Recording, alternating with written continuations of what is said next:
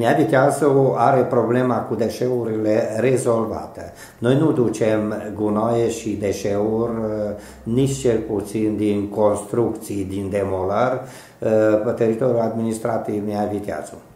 Iar uh, după ce au abandonat terenul autostrada, lângă autostradă au început să aducă molozuri, gunoaie, în toată regula, cei din municipiul Tur, da, din împrejmuirile astea, fără să țină seama că indicatorul scrie Mihai Viteazu. Deci noi, ține de dumneavoastră, de da, comună. Da, iar uh, noi nu permitem nimănui să pună deșeurile pe teritoriul administrativ al acestei comune, când noi ne străduim să avem ale noastre probleme rezolvate.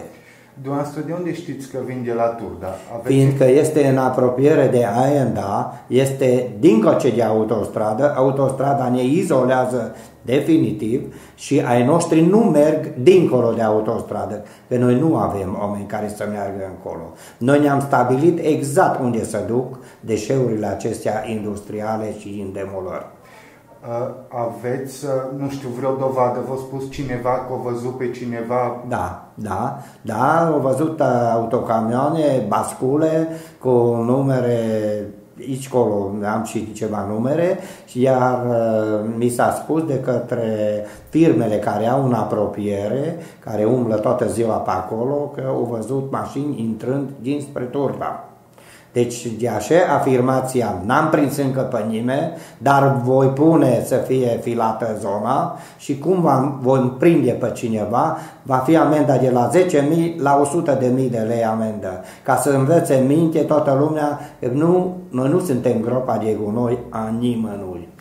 Bun, și în cazul în care la momentul de față ar fi depozitate deșeuri acolo, fie că din construcții, fie de altă natură, vegetale sau orice altceva, cum rezolvați problema?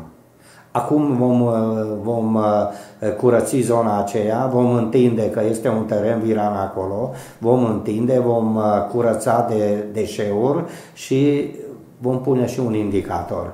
Deci probabil că se va semăna și iarbă acolo.